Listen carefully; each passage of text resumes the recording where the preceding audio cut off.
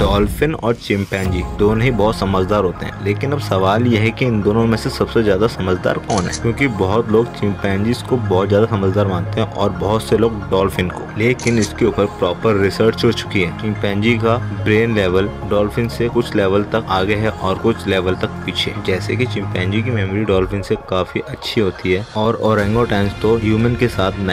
seven percent share करते हैं लेकिन डॉल्फिन चीजों को अच्छे से समझ लेती है और मेमोरी अभिनेत्री भी बहुत अच्छी करती हैं